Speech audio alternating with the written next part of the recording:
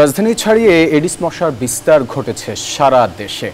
রাজধানীর পাশের দুই সিটি কর্পোরেশন, গাজীপুর এবং নারায়ণগঞ্জ রয়েছে উচ্চ ঝুঁকিতে। দেশের অন্যান্য এলাকাতেও আক্রান্ত এবং মৃত্যুর সংখ্যা বাড়ছে পাল্লা দিয়ে। কীটতত্ত্ববিদরা বলছেন, বিশেষ ব্যবস্থা এখনই লার্ভা ধ্বংসে উদ্যোগ নিতে হবে, তা না হলে নিয়ন্ত্রণ সম্ভব হবে না ডেঙ্গু সংক্রমণ। এদিকে গত চব্বিশ ঘন্টায় ডেঙ্গুতে সারা দেশে মৃত্যু হয়েছে আঠারো জনের, আর আক্রান্ত হয়ে হাসপাতালে ভর্তি হয়েছেন দুই হাজার চারশো আশি জন। হাসান ওয়ালির রিপোর্ট। বদ্ধতার গণ্ডিতে আর নয়। ঢাকা মাওয়া মহাসড়কের সাথে রাজুকের ঝিলমিল প্রকল্প সংলগ্ন মুক্ত বাতাস ও সবুজে ঘেরা প্লট নিয়ে বিডিসির সাউথ টাউন।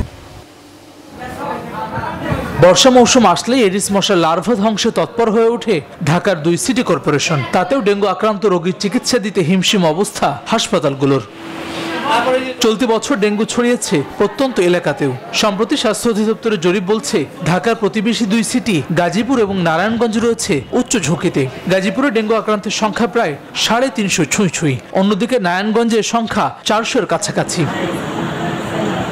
অন্যদিকে সারা দেশে ডেঙ্গুতে মৃত্যুর সংখ্যা চারশো ছাড়িয়েছে। হাসপাতালে চিকিৎসা নিচ্ছেন প্রায় দশ হাজার মানুষ। কিছুক্ষণ পরেই সারা শরীর ব্যথা মাথা ব্যথা মানে পুরো যন্ত্রণা অস্থির। তিন দিনের দিন প্রচুর পরিমাণ বমি মাথা ব্যথা জ্বর আর পারতেছি না। জ্বর ছিল কাশি ছিল মাথা ব্যথা ছিল। কীটতত্ত্ববিদরা বলছেন ক্রমবর্ধমান ডেঙ্গু পরিস্থিতি নিয়ন্ত্রণে গাজীপুর নারায়ণগঞ্জ সহ ঝুঁকিতে থাকা এলাকায় বিশেষ ব্যবস্থা নিতে হবে।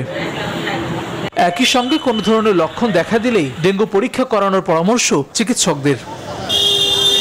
Hasan Wali, news twenty Dhaka.